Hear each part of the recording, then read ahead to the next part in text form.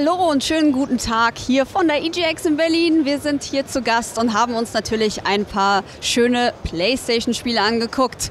Zum einen, hinter mir seht ihr es schon, Wissen ist Macht Dekaden. Das ist ein Spiel aus der Playlink-Reihe. Kennt ihr vielleicht auch schon in einer etwas abgewandelten Form. Wissen ist Macht kam ja bereits raus für Playlink. Und jetzt dreht es sich einfach darum, dass ihr am Anfang auswählen könnt, in welcher Dekade euer Quiz stattfinden soll. Da gibt es die 80er, 90er, 2000er und 2010er. Und das macht das Ganze tatsächlich ein bisschen spannender und übersichtlicher, weil ihr dann natürlich äh, die Themenkomplexe dann zu dieser Dekade eingeordnet habt. Das ist schon mal der erste Vorteil, den ich persönlich viel, viel cooler finde als bei der ersten Version des Spiels. Dann ist es auch so, dass die Ladezeiten wesentlich kürzer geworden sind, was natürlich ähm, ein Vorteil ist, damit man dazwischen nicht immer so das Gefühl hat, okay, man, man sitzt jetzt hier und wartet und es passiert eigentlich nicht so viel. Das wurde auf jeden Fall verbessert.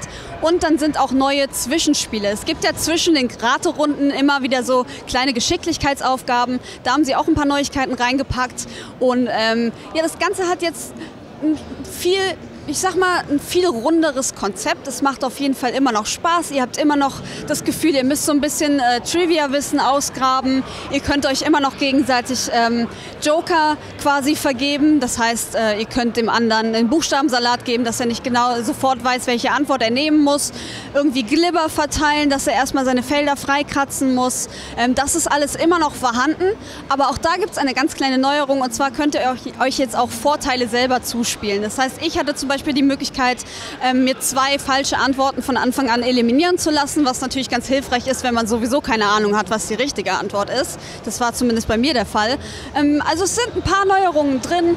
Wie gesagt, dieses ganze Dekadending macht das Ganze viel, viel runder und interessanter dann auch und vielleicht auch cooler für Leute, ähm, mit denen ihr dann zusammenspielt, die vielleicht alle im gleichen Alter sind, die dann auch viel mehr Ahnung haben und viel mehr Wissen haben und Kategorien besser auswählen können. Ähm, das ist definitiv ein Fortschritt. Und deswegen an alle Quizfans da draußen, wenn ihr Bock auf Quiz habt, wenn ihr Bock auf Spieleabende und Playlink habt, dann kann ich Wissen es macht die Karten guten Gewissens für euch empfehlen.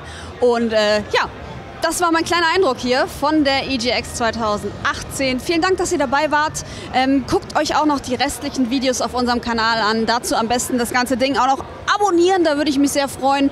Und vielleicht auch noch ins nächste Video einschalten.